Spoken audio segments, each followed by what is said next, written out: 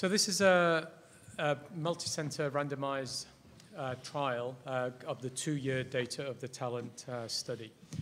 So we know that there was a recent meta-analysis by Bangalore showing that uh, ultra-thin strut stents defined as less than 70 micrometers in thickness reduce the incidence of target lesion failure uh, compared to the modern uh, generation stents that we used.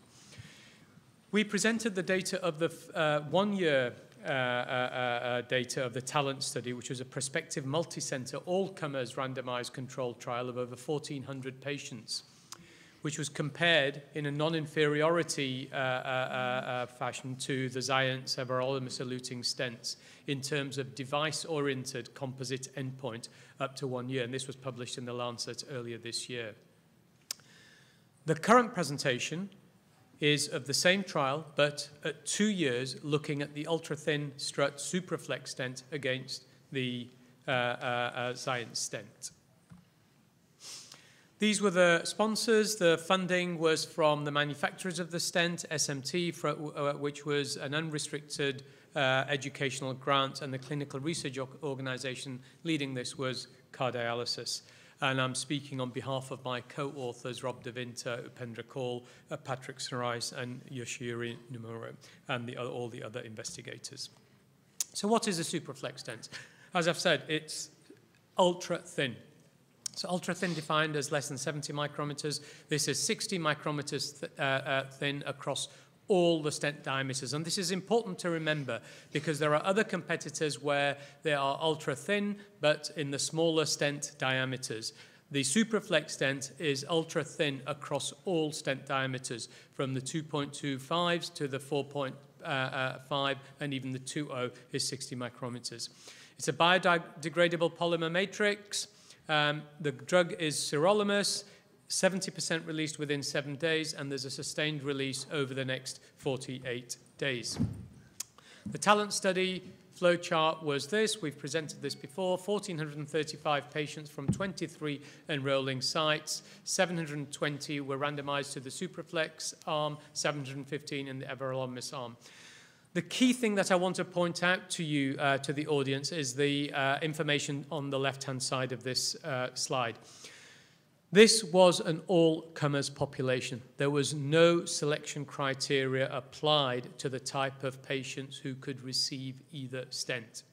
It was any ischemic coronary syndrome, any type of lesions, including vein grafts, including CTOs, and there was an unrestricted use of drug-eluting stents.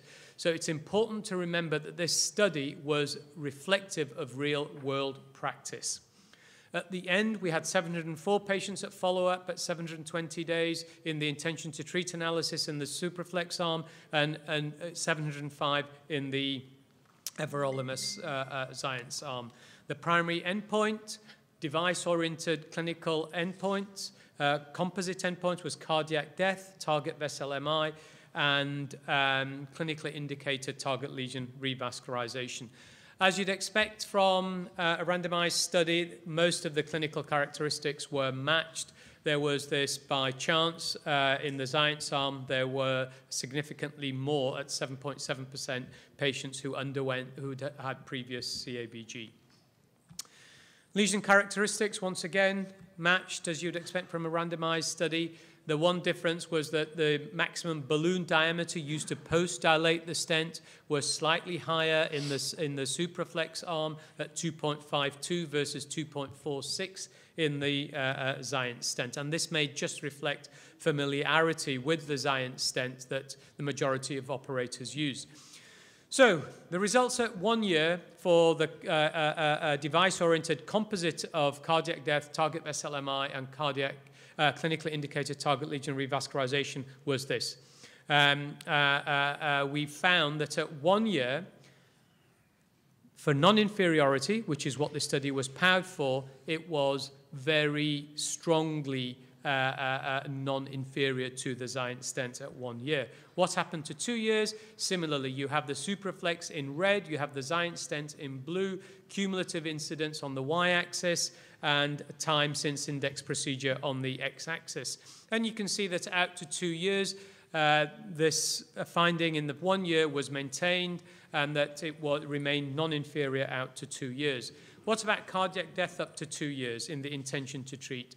So there was this slight difference at one year, which we could not explain. We felt it was a play of chance, but it was very important to continue following up these patients. And at two years, as we thought we would find, there was absolutely no difference in cardiac death up to two years between the Xience and the Supraflex arm. Target vessel MI up to two years. Once again, at one year, no difference. At two years, no difference. Numerically smaller for the Supraflex arm, but statistically not different. What about clinically indicated target lesion revascularization in the intention to treat arm? So we found that at one year, this was surprising also, that at one year it favored the supraflex arm. And once again, there was no strong uh, mechanism for this beyond the thin strut, but out to two years, when we followed patients up to two years, there was no difference at all in the target lesion revascularization uh, uh, uh at that point. What we are worried about for our patients, what we are worried about as physicians is definite or probable stent thrombosis up to two years. There was no difference and remarkably low rate at one year for both stents, and this was maintained out to two years. So not only remarkably low, but non-inferior uh, compared to the Xience out to two years, and the Xience stent is, is proven to have a low uh, uh, incidence of stent thrombosis. If we then switch to the per protocol analysis, so this included not intention to treat, but per protocol. So these were patients who received only the assigned study stent. And at one year, we had this finding that the clinically indicated target lesion revascularization in the per protocol analysis favored the supraflex stent. And it was significant, the p value was significant at 0.021. However, out to two years, this difference was not maintained, and both the device-oriented composite uh, uh, uh, events at two years and the CI, clinically indicated target lesion revascularization, out to two years, whilst numerically smaller for the supraflex stent, there was no statistically significant difference between the two products. So in summary, Chairman, the Supraflex biodegradable polymer sirolimus eluting stent demonstrated comparable two-year clinical outcomes to the leading drug-eluting stent worldwide, which is the Xience everolimus eluting stent, in, and this is an important point, in an all-comers population. Patients were not selected. They included acute coronary syndromes, vein grafts, CTOs, everything. The lower rate of clinically indicated target lesion revascularization that was seen in the supraflex arm at one year in the per protocol analysis only was not seen out to two years. Thank you for your attention.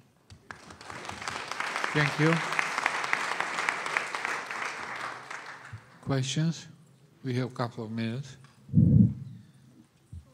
So the uh, per protocol analysis is actually quite interesting from the standpoint of a non-inferiority trial, just because if you'd use ITT, it tends to make the arms look more equal. So uh, from the standpoint of a non-inferiority trial, we're actually more interested in the per protocol and assigned stent analysis.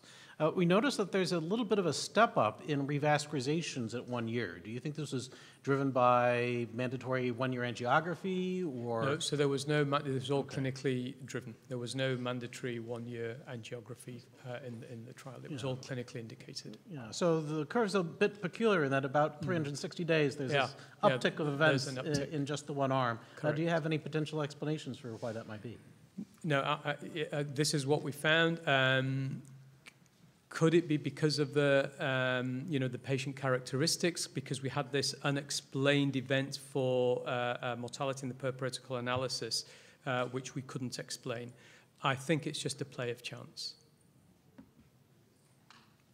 And, and the reason I say that is because when you follow these patients, as you've seen out to two years, it smooths out.